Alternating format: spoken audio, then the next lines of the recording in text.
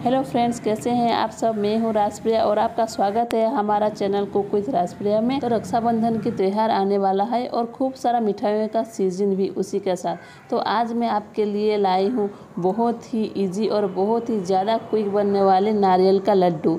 इसमें हम रोज़ का फ्लेवर देंगे। आप चाहें तो रोज़ का फ्लेवर ना दे के इसको सिंपल भी बना सकते हैं। तो चलिए देखते हैं हमारी आज की रेसिपी का इन्ग्रीडियंट्स यहाँ मैंने लिया है रेसिकेटेड कोकोनट ये रेडीमेड नारियल का बुरादा है। मार्केट में इसके पैकेट्स बहुत ही आसानी से अवेलेबल होते हैं।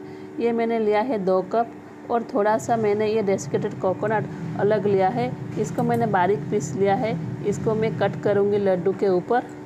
कंडेंस मिलने के 200 ग्राम। यहाँ मैंने 400 ग्राम का कैन लिया है। इसको मैं हाफ़ यूज़ करूँगी। रोज सिरप लिए हैं। इसको हम दो से तीन चम्मच यूज़ करेंगे। इलायची का पाउडर आधा छोटा चम्मच और घी एक छोटा चम्मच लेंगे। तो यहाँ मैंने ले लिया है एक पेन इसको रखा है मैंने बिल्कुल लो फ्लेम में। अब हम इसमें ऐड करेंगे घी। घी जैसे ही मेल्ट हो जाए ऐड करेंगे नारियल का बुरादा। इसको हम भून लेंगे बिल्कुल लो फ्लेम में। इसी तरह से चलाते ज़रूर रहें। वरना नारियल जो है बहुत जल्दी ब्राउन हो जाएगा। लो फ्लेम पे भी, बिल्कुल लो फ्लेम पे ही इसको भुनना है। इस चीज़ का ध्यान रखिएगा। इसको लगातार चलाते रहे। इसे हमें बहुत ज़्यादा नहीं ब्राउन कर लेना है। बस दो से तीन मिनट तक भुनेंगे, जब तक इसका कच्चापन ख़त्म नहीं हो जाएगा। ये देखिए, हल्का गोल्डन ब्राउन हो गया नारियल का बुरादा। और इसी समय पे मैंने ऐड कर दिया है कंडेंस मिल्क ये मैंने 200 ग्राम कंडेंस मिल्क ऐड किया है। और इन सबको अच्छे से मिक्स कर लेंगे।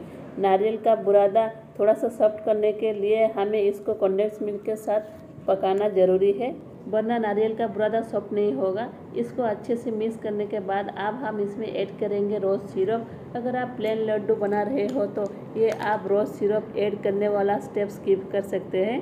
और रोज़ सिरप को हम अच्छे से मिक्स कर लेंगे। रोज़ सिरप अच्छे से मिक्स होने के बाद मैं इसमें डाल रही हूँ इलायची का पाउडर। अगर आपके पास रोज़ सिरप नहीं है तो आप इस पर रू अफ़ज़ा भी ऐड कर सकते हैं। उससे भी काफ़ी अच्छा फ्लेवर आ जाता है। ये देखिए बिल्कुल रेडी हो गया है हमारा कोकोनट लड्डू का मिक्सचर अब मैं इसको एक प्लेट में निकाल लूँगी। ये देखिए, ये हमने ले लिया है थोड़ी सी बड़ी प्लेट मिक्सचर को मैंने प्लेट में निकाल लिया है।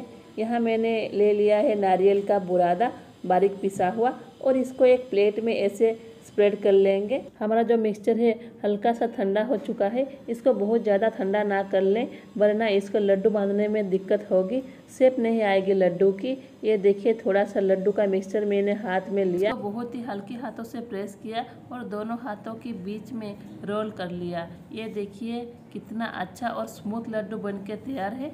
अब मैं इसको रोल करूँगी। हमारी कोकोनट पाउडर में जिसे मैंने बारीक करके रखा था, ये देखिए बहुत ही टेस्टी सॉफ्ट और इजीली बनने वाली हमारे नारियल का लड्डू बन के तैयार है। इसी तरह से मैं बाकी के लड्डू भी बना लूँगी। तो ये देखिए हमारे सारे नारियल के लड्डू बन के तैयार है। तो इस त्यौहार पे आप भी इस लड्डू को बनाइए। इस लड्डू को बनाने के लिए ज़्यादा टाइम नहीं लगता। बट ये बहुत ही ज़्यादा टेस्टी लगता है।